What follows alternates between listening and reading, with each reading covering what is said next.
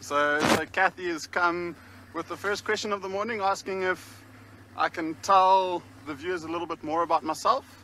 Something I don't really like to do talking about myself, but I'll give a, a brief little summary of my life, I guess.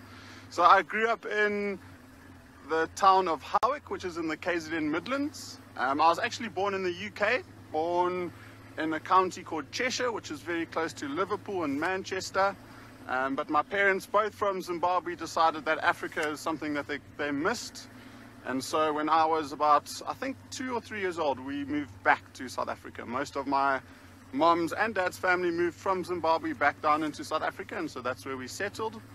I grew up in the Midlands, very small town, nice, uh, very, very beautiful area with big open water systems and really nice big mountains close by. So we spent a lot of our time as, ch as children walking through the mountains and going and sailing and rock climbing and doing some very cool outdoor activities.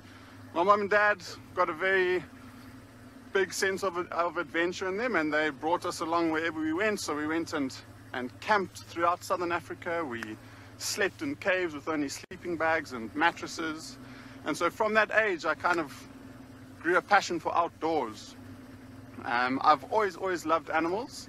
I think the first animal teddy bear that I ever got was a leopard, and I've still got it today. and yeah, I went to high school. Um, when I was a, a, small little kid, most of my focus was based on, on animals. I really, really loved them.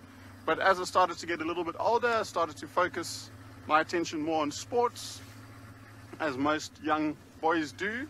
So I played a variety of sports. I, I used to swim, I played rugby, um, I used to play cricket, wasn't very good at it, especially my batting. Um, and then after school, I went to the UK to do a gap year. So just to go and experience I guess a little bit of where I, was, I came from. So I worked there for a year and then um, traveled around Europe, which was really nice. I backpacked and got to see the, most of Europe. But I think from that point is when I started to miss the, the African bushveld and, and these big wild spaces that I was so accustomed to. So when I came back, I took a second gap year, and that was at the University of Pretoria. So I, I, started off with the BSc on, on physiology, genetics and psychology.